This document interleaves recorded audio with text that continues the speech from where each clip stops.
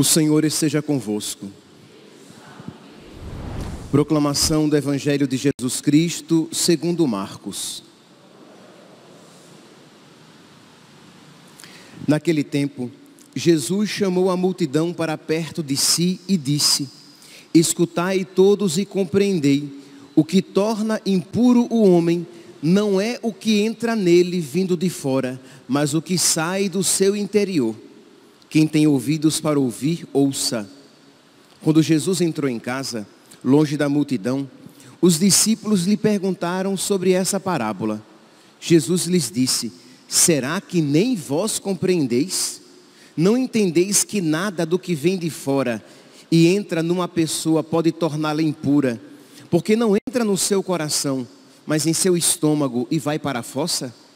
Assim, Jesus declarava que todos os, os, alimentos eram puros. E ele disse: O que sai do homem, isso é o que o torna impuro, pois é de dentro do coração humano que saem as más intenções, imoralidades, roubos, assassínios, adultérios, ambições desmedidas, maldades, fraudes, devassidão, inveja, calúnia, orgulho, falta de juízo. Todas essas coisas mas saem de dentro e são elas que tornam impuro o homem. Palavra da salvação.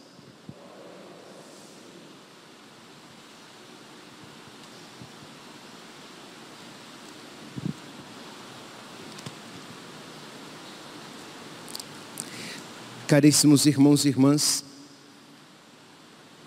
na primeira leitura de hoje, retirada do capítulo décimo do primeiro livro dos reis, a rainha de Sabá fala algo a respeito de Salomão. Diz que o povo de Deus, que Israel era muito feliz, porque podia desfrutar da sabedoria de Salomão. Primeiro Primeiro livro dos Reis, capítulo décimo, versículo nono, versículo oitavo. Feliz a tua gente, né? o povo de, de Israel. Feliz a tua gente, felizes os teus servos, que gozam sempre da tua presença e que ouvem a tua sabedoria. Era uma verdade. Salomão era um homem sábio. O profeta Baruque vai dizer isso ainda com mais profundidade. Não mais agora tendo como ponto de comparação, de referência, Salomão e a sua sabedoria, mas o próprio Deus, sabedoria, a própria sabedoria de Deus. Então lá no profeta Baruque, no capítulo 4, no versículo 4, o profeta, movido pelo Espírito o profeta vai dizer: Felizes somos nós, Israel, porque a nós nos foi revelado o que agrada a Deus. Então, a rainha de Sabá, pagã, diz que Israel é feliz, porque Israel desfrutava da presença de Salomão e podia se alimentar da sua sabedoria. O profeta Baruque dá um passo além que nós somos felizes, mas muito mais felizes. Por quê? Porque nós podemos desfrutar da sabedoria do próprio Deus, porque Deus nos revelou a sua sabedoria, Deus nos revelou os seus mandamentos, Deus nos revelou o que lhe agrada, o que é bom. E nós, e Israel, desfrutava da presença, da familiaridade com Deus, porque vai dizer o povo de Deus, qual é o povo que tem um Deus tão próximo como nós? Então, Israel desfrutava dessa presença de Deus e se alimentava da sua sabedoria. Mas nós cristãos podemos dizer isso com mais propriedade ainda. Porque nós, muito mais do que Israel, segundo as palavras da rainha de Sabá, Israel era feliz porque desfrutava da presença de Salomão, mas nós temos alguém que é maior do que Salomão. E muito mais do que Israel era, era feliz, segundo as palavras do profeta Baruque, porque nós não apenas conhecemos a vontade de Deus por algum intermediário de Deus, os profetas, segundo o profeta Baruque, mas nós conhecemos o que agrada a Deus pela presença de Deus, em que Ele próprio nos ensina o que lhe agrada, com o seu Filho Jesus Cristo. Deus vem, habita entre nós e nos ensina aquilo que lhe é agradável. São Paulo, na carta aos Efésios, no capítulo 5, no versículo 17, São Paulo diz assim: Não sejam, ele, é, fala para os cristãos de Éfeso, não sejam insensatos, mas procurem conhecer a vontade de Deus. Então, nós devemos a cada dia buscar conhecer, amar e praticar a vontade de Deus, porque nisso consiste a verdadeira sabedoria e nisso consiste a nossa salvação. E Jesus, o próprio Deus, a segunda pessoa da Santíssima Trindade, vem para nos ensinar o que agrada a Deus. Então, Jesus nos ensina em que consiste amar, se vocês pegarem o capítulo 5 de São Mateus, vocês vão ver lá. Ouvistes o que foi dito. Amai os vossos amigos, odiai os vossos inimigos. Eu, porém, vos digo: amai os vossos inimigos e fazei o bem àqueles que, que vos caluniam, que vos fazem o mal. Ou no capítulo 22, quando alguém chega a Jesus e pergunta: Mestre, qual é o primeiro, qual é o maior mandamento? Jesus diz: o primeiro e maior mandamento é amar a Deus sobre todas as coisas, amar a Deus com todas as forças, com todo o coração, com toda a vossa mente. E o segundo mandamento é amar o próximo.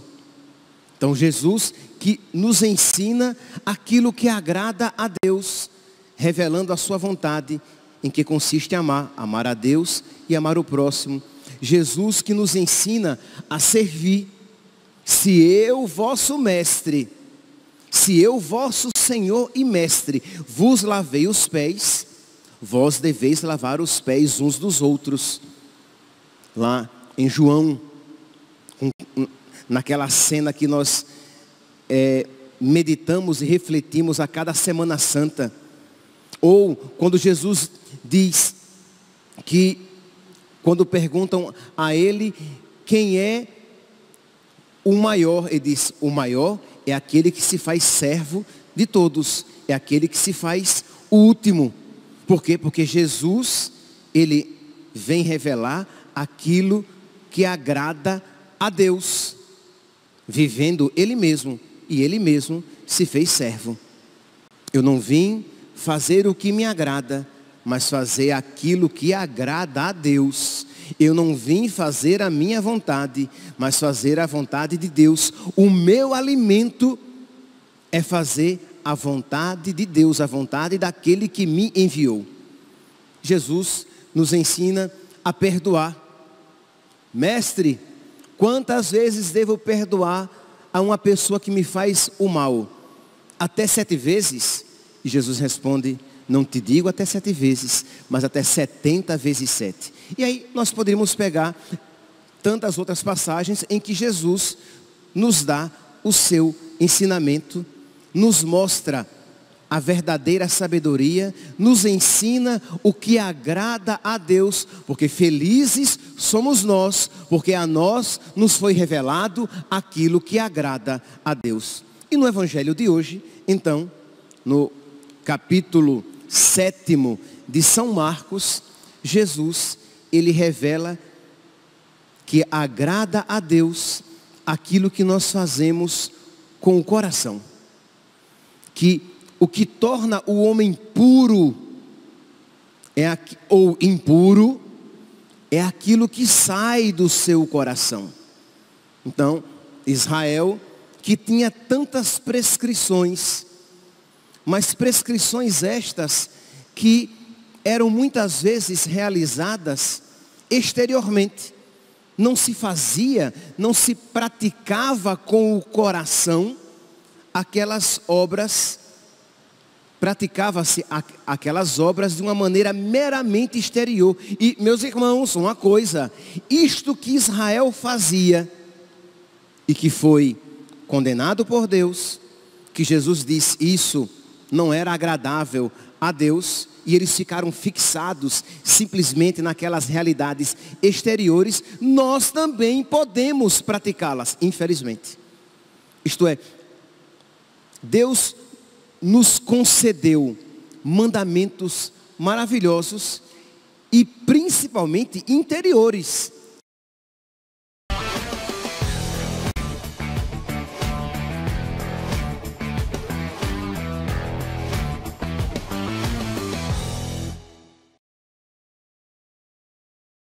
Toca o nosso coração, de modo que não nos santifica de verdade. Você pode rezar, mas rezar apenas com a boca. De modo que Jesus vai dizer: Este povo me honra com os lábios, mas o seu coração está longe de mim. Você sabe que, infelizmente, isso é possível. Você sabe que você, infelizmente, é capaz de fazer, vamos aqui pegar um exemplo, de rezar um terço sem, em momento nenhum, se unir a Nossa Senhora, os sentimentos de Nossa Senhora, o desejo de viver na sua vida, de reproduzir na sua vida as atitudes de, de Nossa Senhora, de total e completa disponibilidade e aceitação da vontade de, de Deus. Você é capaz de rezar um terço inteiro sem meditar em nada disso, apenas repetindo automaticamente Pai Nosso e Ave Maria. Você é capaz de rezar o Pai Nosso sem se deixar tocar pelo Espírito de Cristo. E você reza Perdoai-nos as nossas ofensas, assim como nós perdoamos a quem nos tem ofendido, mas sem contrição nenhuma.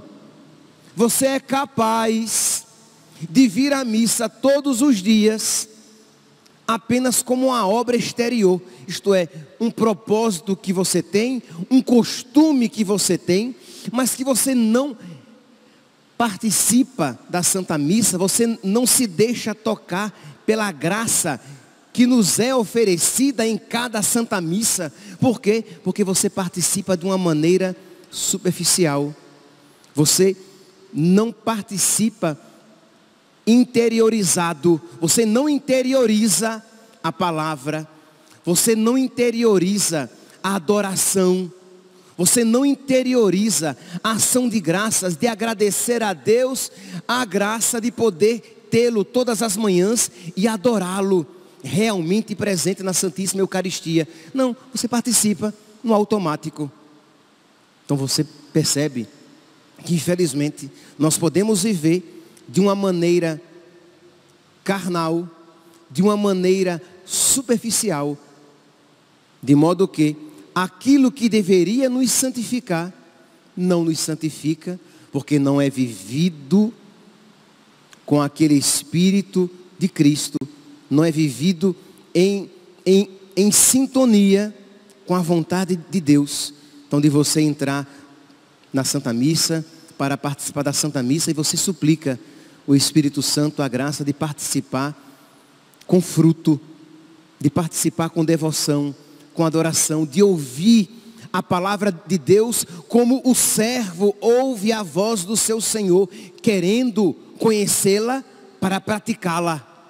Porque felizes somos nós, porque a nós nos foi dado conhecer a vontade de Deus. Mas se nós a ouvimos desatentamente, o diabo arranca dos nossos ouvidos como a ave, como as sementes lançadas à beira do caminho.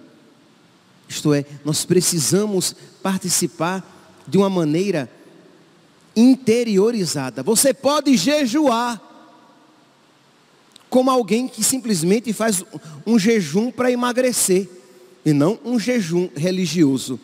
Isto é, você jejua, você não coloca comida na boca, mas você coloca muitos pecados no seu coração.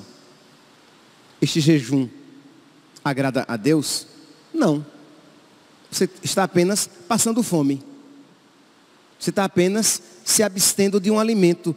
Não é um ato religioso, um ato de piedade, um ato de reverência a Deus. Então nós precisamos incutir em nós os sentimentos de Cristo para que todas as nossas obras sejam boas. Nós precisamos, como vai dizer Santo Agostinho, que nós devemos amar, e se amarmos, podemos fazer o que quisermos. Que se estivermos no amor de Deus, tudo aquilo que fizermos será bom. Então vamos lá, ou, tendo em mente isso, ouçamos aqui a palavra de, de nosso Senhor em Marcos capítulo 7, versículo 20. Jesus disse: O que sai do homem, o que torna o homem impuro, não é o que entra, porque o que entra vai para o seu estômago e depois para a fossa.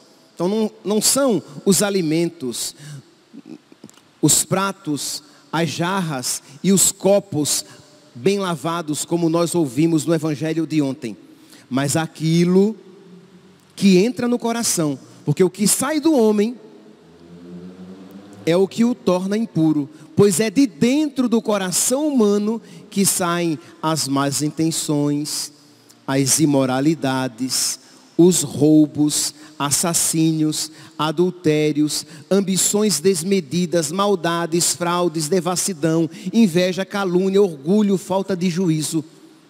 Todas, todas essas coisas são más e elas saem de dentro e são elas que tornam o homem impuro e são elas que tornam o homem desagradável a Deus. Isso que São Marcos apresenta como as obras impuras, São Paulo vai apresentar na carta aos Gálatas, no capítulo 5, a partir do versículo 19, como as obras da carne.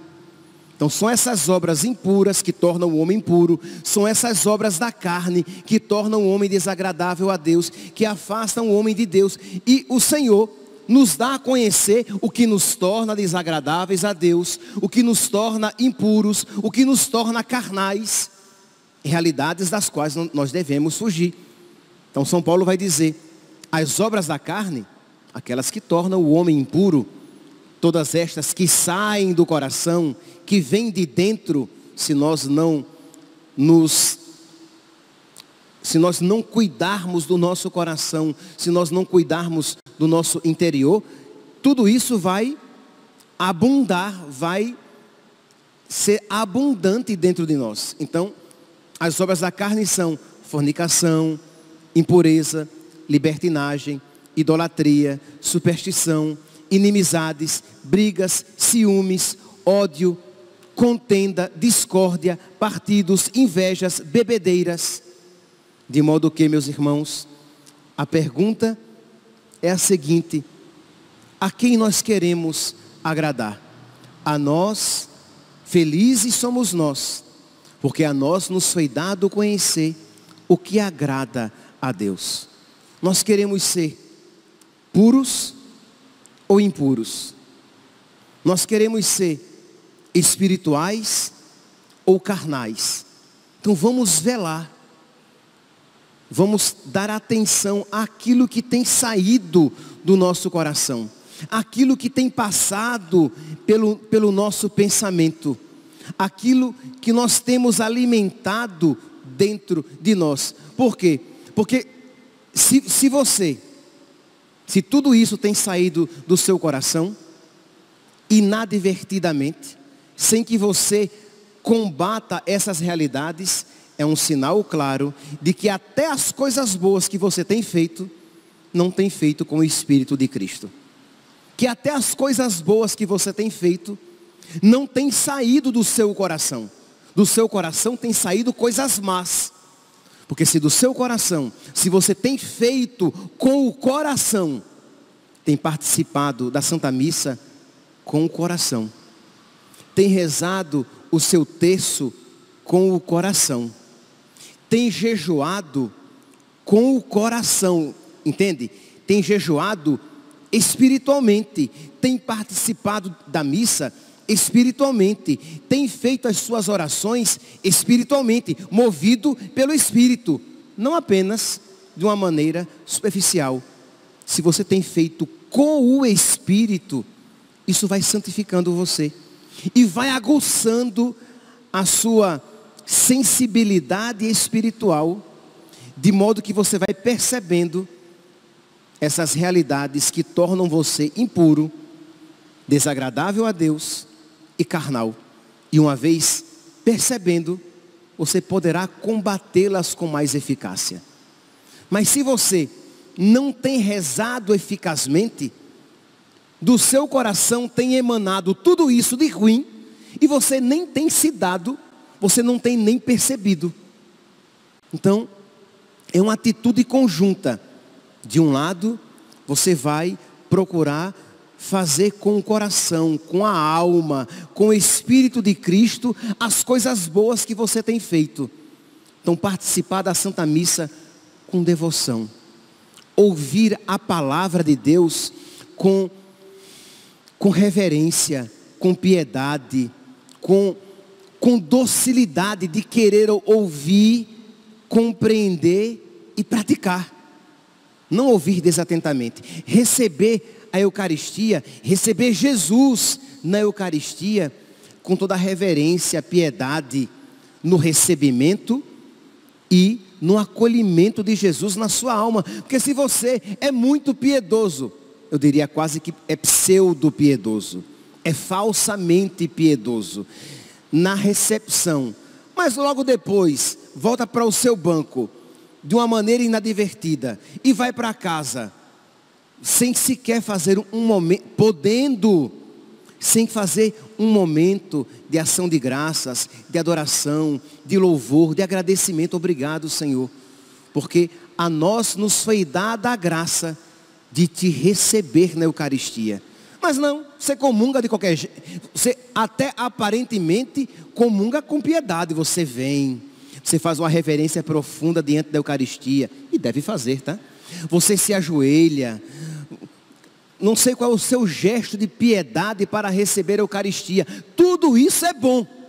Nada disso é mal, mas tudo isso deve ser apenas um reflexo de uma piedade verdadeira que continuará presente na sua alma depois da recepção. Porque muitos parecem tão piedosos e santos na recepção, mas logo se esquecem daquele que receberam e não fazem a adoração, a ação de graças devida. Talvez o seu tempo seja curto, de modo que você fará de uma maneira mais curta a sua ação de graças. Mas talvez você tenha tempo de se alongar um pouco mais. Mas se você recebe, você faz as coisas santas de uma maneira vulgar, o efeito espiritual não acontecerá. Você precisa fazer as coisas santas santamente. Você precisa fazer as coisas que agradam a Deus com o Espírito de Deus. De modo que, quando você faz as coisas santas santamente, Deus vai lhe dando uma capacidade de perceber aquilo que de carnal ainda está presente na sua alma, aquilo que de impuro provém do seu coração e Deus lhe dará não só a capacidade de perceber, mas também de combater, de extirpar, de arrancar, de tirar isso da sua vida. Então, o que é que Jesus diz aqui que, que torna-nos impuro e que nós devemos combater? Combater na nossa casa, combater na comunidade, combater no silêncio do nosso coração. O que é que devemos combater? Versículo 20 as más intenções, as imoralidades, os roubos, assassínios. Você não precisa matar, mas quantas vezes você deseja a morte? de alguém, de uma pessoa má. Quanto, né, de uns tempos para cá, quantas vezes tem ouvido no confessionário pessoas que consentem no desejo de morte de, pessoa, de outras pessoas. Ah, mas aquela pessoa não vale nada. Mas aquele político, mas aquele homem público, mas aquele ministro. Só que o diabo quer levar você para o inferno da mesma maneira que quer levá-lo também. A ele, o diabo leva para o inferno por meio dos roubos, da mentira e das injustiças praticadas. E a você, ele leva para o inferno pelo desejo de morte que você nutre no seu coração. E o diabo sai ganhando com os dois. Então seja sábio. Então, isso torna o homem impuro. Isso desagrada, desagrada, a Deus. E nós somos felizes, porque a nós nos foi revelado o que agrada a Deus. Então, isso não agrada a Deus. Então, roubos, imoralidades, más intenções, assassínios, adultérios, ambições desmedidas, desejo de riqueza desmedido, maldades, fraudes, devassidão, inveja, calúnia, orgulho, falta de, de juízo. E vai acrescentar São Paulo, bebedeira, libertinagem, inimizade, brigas, confusões. Nós alimentamos brigas, confusões, palavras torpes, tudo isso que envenena o nosso coração e que desagrada a Deus. Então peça, meu santinho, na sua oração, feita no Espírito, peça a Deus a graça de perceber as impurezas, as obras da carne ainda presentes no seu coração e a força para extirpar tudo isso, para que você seja cada vez mais imagem e semelhança de nosso Senhor.